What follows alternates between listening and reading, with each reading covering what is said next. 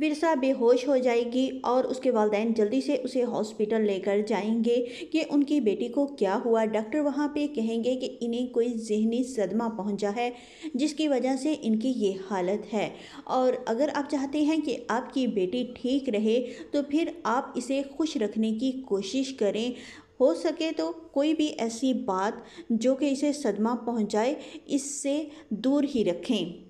तो विरसा के वालदेन बहुत ज़्यादा परेशान हो जाती हैं कि हम कैसे इसे इस परेशानी से दूर रखें।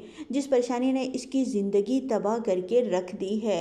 चलें, फिर भी इसे मेडिसिन वगैरह दी जाती है, जिससे विरसा को होश आ जाती है। विरसा के वालदेन खुश होते हैं कि उनकी बेटी को होश आ गया है।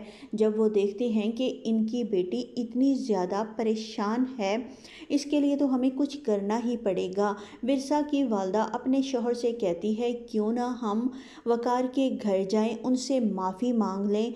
शायद वो हमारी विरसा को घर ले जाएँ। दूसरी तरफ़ वकार अभी अपने कमरे में होता है, वहाँ पर बहुत परेशान होता है कि ये मुझे क्या हो गया है। मुझे तो विरसा से बहुत ज़्यादा मोहब्बत थी। वो मोहब्बत कहाँ चली गई जो कि मुझे उसे पहली ही नज़र में हो गई थी। मैंने कुछ भी नहीं सोचा और विरसा को वहाँ पे छोड़ दिया। इसमें विरसा की तो कोई गलती नहीं थी। मैंने विरसा के साथ अच्छा नहीं किया। फिर ये सोचता है, विरसा तो सिर्फ़ मेरी ज़िंदगी में नहीं, मेरे माँ बाप भी हैं, जिन्होंने मुझे पाला है। मुझे उनकी इज़्ज़त का तो ख्याल रखना ही है ना? अगर मैं विरसा को घर ले आता तो मेरा वालिद शायद मुझसे नाराज़ हो जाता। अब मैं अपने वालिद को तो नाराज़ नहीं कर सकता। ये बहुत ज़्यादा परेशान होता है कि वैसे मैंने विरसा के साथ अच्छा नहीं किया, ख़ुद के साथ भी अच्छा नहीं किया, क्योंकि मैं तो विरसा से बहुत मोहब्बत करता हूँ। अब मैं उसके बग़ैर कैसे रहूँगा? इधर विरसा को जब होश आती है तो विरसा बार बार वकार को फ़ोन करती है। पहले तो वकार इसका फ़ोन रिसीव नहीं कर रहा होता। फिर आखिरकार वो इसका फ़ोन रिसीव कर लेता है तो विरसा कहती है कि, वकार, मेरी क्या गलती है? मुझे किस बात की तुमने सज़ा दी है? मैंने तो कुछ नहीं किया। तुम मुझसे क्यों नाराज़ हो? वकार कहेगा अच्छा मेरी गलती है जो मैंने तुमसे मोहब्बत की। तुमसे शादी करने के लिए तुम्हारे घर चला आया। तुम लोगों को क्या ज़रूरत थी अपने ताया को वकील बनाने की? तुम लोग जानते थे ना अपने ताया के बारे में। फिर भी तुम लोगों ने जानबूझ के अपने ताया को वकील बनाया। क्या तुम्हारा बाप मर गया था? तुम्हारा बाप ज़िंदा था ना? वो तुम्हारा वकील बनता, तुम्हारा ताया क्यों वकील बना? और उसने हमारी सब के सामने इतनी ज़्यादा इंसल्ट की। मेरा वालद कितना ज़्यादा परेशान था। वो तो शुक्र करो एन मौके पे मुझे अकल आ गई। मैंने तुमसे निकाह कर लिया, वरना तो मेरा वालद कह रहा था कि हम बारात लेकर वापस जाते हैं। फिर मैंने सोचा, नहीं, एक दफ़ा मैं विरसा को अपना लूँ। और फिर जैसे ही मैं खुद को इस काबिल बना लूँगा ना कि तुम्हारे ताया की आँखों में आँखें डालकर उसे पचास लाख का चेक पकड़ा सकूँ, फिर मैं तुम्हें तुम्हारे घर से ले जाऊँगा। उस वक्त तक तुम मेरा इंतज़ार करो, अपने वालदेन के घर ही रहो। वैसा कहेगी, अगर तुम कहते हो तो मैं खुद आ जाती हूँ जवाब में। वकार कहेगा, ऐसा नहीं हो सकता। अगर तुम मेरे घर आई भी तो मैं तुम्हें वापस तुम्हारे घर छोड़ आऊँगा। तो बेहतर यही होगा, तुम अपने माँ बाप के घर ही रहो। इधर जूबी को मौका मिल जाता है कि वो वकार के इर्द गिर्द रहे। शायद अब वकार को इसकी मोहब्बत का एहसास हो गया होगा कि उसने मुझे ठुकराया है। वो मुझे अगर अपना लेता तो आज उसके साथ यूँ ना होता, वो तनहा ना रहता। ये वकार के पास जाएगी और उसे कहेगी, वकार, मैं आज भी तुम्हारा इंतज़ार कर रही हूँ। मैं आज भी तुमसे उतनी ही मोहब्बत करती करती हूँ जितनी के शादी से पहले करती थी। वकार मुझे तुमसे कुछ नहीं चाहिए, सिर्फ़ और सिर्फ़ तुम्हारा नाम चाहिए। वकार से कहेगा, जाओ जूबी यहाँ से, मैं बहुत ज़्यादा परेशान हूँ, मुझे और मत परेशान करो। तो जूबी यहाँ से चली तो जाती है, लेकिन वो कहती है कि, वकार, अब तो मैं तुम्हें अपना कर ही रहूँगी। ना तुमसे इतनी मेहनत होगी कि तुम इतने पैसे कमा सको, और ना ही तुम विरसा को घर लाओगे। और दूसरी तरफ़ विरसा के वालदेन वकार के घर आते हैं और आकर वकार से भी माफ़ी मांगते हैं, उसके वालदेन से भी माफ़ी मांगती हैं कि हमें माफ़ कर दें। हमने बहुत बड़ी गलती कर दी, जो कि भाई साहब को अपना वकील बना लिया। हमारा ऐसा कोई इरादा नहीं था। हमें कुछ नहीं चाहिए। हम तो चाहते हैं अपने बच्चों की खुशियाँ, और खुशियाँ इन पैसों से नहीं मिलती। हमारी बेटी बहुत ज़्यादा परेशान है, उसका कोई हाल नहीं। हम अपनी बेटी की खुशियों की भीख आपसे मांगते हैं। आप हमारी बेटी को घर ले आए। तो वकार कहता है कि, आंटी, इसमें आपकी कोई गलती नहीं और आपको माफ़ी नहीं मांगनी चाहिए हमसे।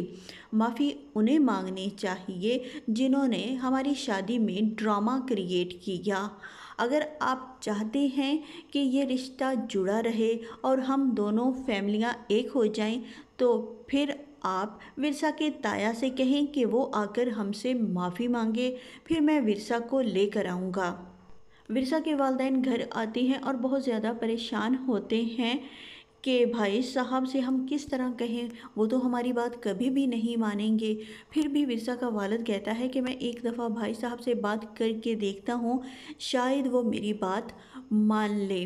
तो विरसा का वालद अपने भाई के पास जाएगा और कहेगा कि, भाई साहब, आप हमारी बेटी की खुशियों को वापस ला सकती हैं। आप उन लोगों के पास जाएँ और उनसे माफ़ी मांगें। तो विरसा का ताया कहेगा, ऐसी बातें कर रहे हो। मैं तुम्हारी बेटी की खातर उन लोगों से जाकर माफ़ी मांगूं। तुम्हें शर्म नहीं आई? बड़े भाई से आकर ये बात कहते हुए कि, मैं दूसरों के सामने जाकर माफ़ी मांगूं। जाओ, मैं किसी से माफ़ी नहीं मांग रहा। वैसे भी उन लोगों से माफ़ी मांगने की क्या ज़रूरत है?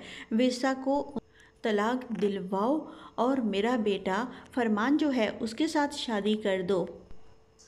अगर विरसा का ताया बात मान भी लेगा, विरसा की ताई कहेगी, मान जाए ना चले जाएँ, क्या बात है? बच्ची का मामला है और फिर विरसा की ताई विरसा के ताई से कहती है कि एक दफ़ा जाएँ, जाकर फिर ऐसी कोई बात कर दे कि वहाँ से गुस्से में उठकर आ जाइएगा। बात भी रह जाएगी और इस तरह आपका भाई और भाभी आपसे राज़ी भी हो जाएँगे और विरसा को तलाक भी हो जाएगी और हमारे बेटे फरमान का घर बस जाएगा। इधर विरसा की तबीयत बहुत ज़्यादा ख़राब होती है तो विरसा से मिलने के लिए वकार आएगा। विरसा बार बार उसकी मिन्नतें कर रही होती है। ये वकार से कहती है कि, वकार, मुझे आपके साथ जाना है। तो वकार कहेगा, नहीं, ये नहीं हो सकता। मैं तुम्हें अपने साथ कभी भी नहीं ले जा सकता। तुम्हें यहीं रहना होगा। जब तक तुम्हारा ताया मुझे माफ़ी नहीं मांगेगा या फिर मैं इस काबल नहीं हो जाऊँगा कि तुम्हारे ताया की आँखों में आँखें डालकर पचास लाख का चेक उसे पकड़ा सकूँ।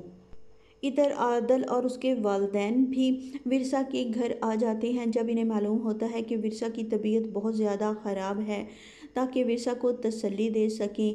आदल को भी यही लगता है कि अब ना वकार यहाँ आएगा, ना विरसा को लेकर जाएगा तो वेशा शायद मेरी ज़िंदगी में शामिल हो जाए।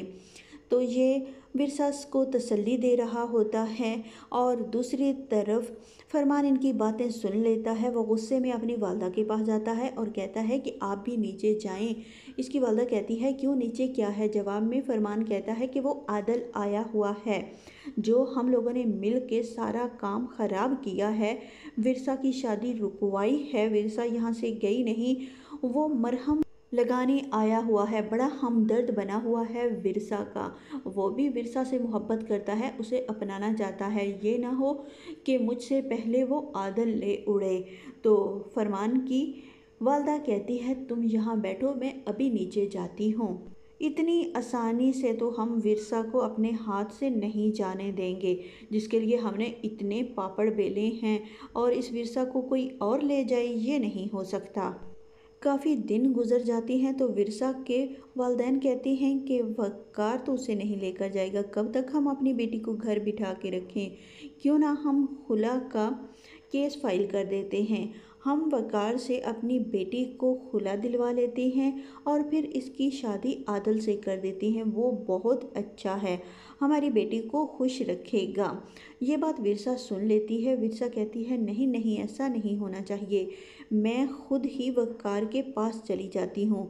तो ये अपने माँ बाप को बताए बगैर वकार के घर पहुँच जाती है।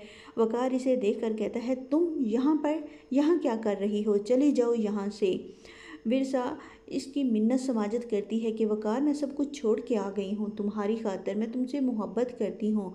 मेरे माँ बाप हम दोनों को अलहदा कर देंगे। वो तुमसे खुला लेना चाहते हैं।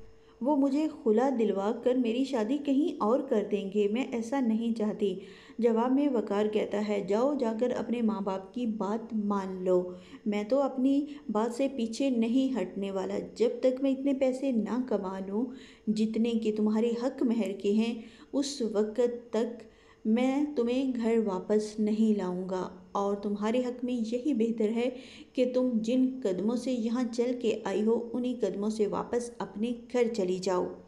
विरसा वहीं से धड़म गिर जाती है कि ये क्या हो गया? मैं अपने माँ बाप की बात को कैसे रद्द कर सकती हूँ? और इधर वकार है, वो मेरी बात मान ही नहीं रहा।